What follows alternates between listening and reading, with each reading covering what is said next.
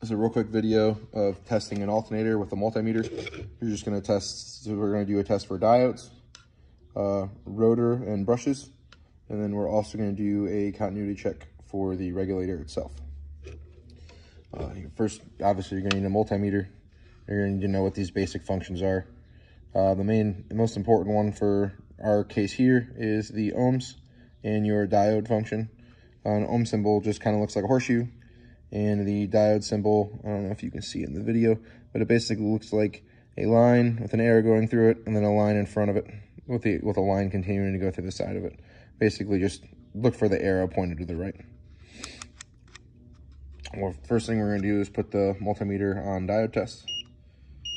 As you can see on the screen, it's on diode test. This is just a real basic Fluke 101. They're about $40 on Amazon, eBay, etc. You'll have to remove the cover there's going to be three 8 millimeter nuts on the back. You can use a screwdriver as well to pop it off if you can't get it off. Just be careful because it is plastic. It's not super hard to break that. Uh, first thing you're going to do is we're going to test the negative diodes. You'll see that there are six uh, soldered or welded connections, depending on the brand of unit you got going on there uh, first thing you're going to do is take your positive lead and put it somewhere on the case of the alternator. And then check each individual diode. If you can see it on the video there. But pretty much your main thing that you're looking for is not to see OL and not to see all zeros, or if it's a continuity slash diode test, not to hear a beep. And you can see here that we're between 0.3 and 0.6 on all of the diodes. And then obviously if the diodes are actually bad, you'll see a zero. And that'll tell you if you have a short either internally from the diodes or the stator actually being shorted uh, against either the case or the lamination stack itself, which is what this part is. After you've tested the negative diodes, basically just switch leads in your hands, I'm left-handed, so it might be a little bit different for you, but so then you'll be taking your uh, negative lead and basically putting it on the stud of the alternator or somewhere on this positive side of the case. And then again, check all of these points. Mainly, again, looking for an OL read or a zero read.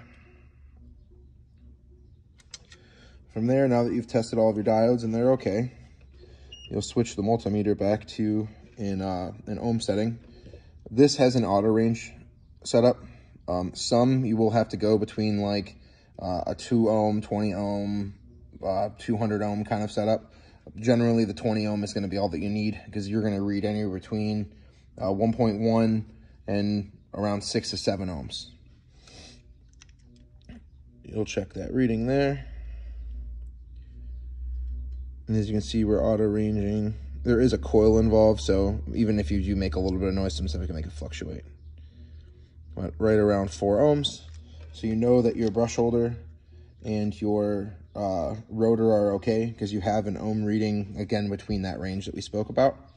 Um, one thing that, uh, that you can check is to actually, if you read an OL on this, uh, between these screws, what you're going to do is you're actually going to remove the brush holder. And you can see this particular one has two T20 screws. Uh, some brands will use Phillips screws. Just remove those. You obviously can do that by hand. You don't necessarily need an impact to do it. But for the sake of time for the video, this is obviously a good used brush holder. They have two brushes on springs. What you can see when the brush actually starts to wear out is something along this line. And when it gets to that point, what you can see is that it actually will not make contact with these copper strips here, which connect to the coil inside. That's the rotor coil that spins on the inside here. You'll see a no charge situation because of that. So what you're gonna wanna do is obviously then replace the brush holder if that's the case, and then make sure there aren't any crazy grooves going on here. Um, if you do see that, Obviously, you're going to want to check your, your ohms again. So you'll check the two copper strips themselves. And you'll obviously, you should get a lower reading when checking this because you won't have the added resistance of the brush leads.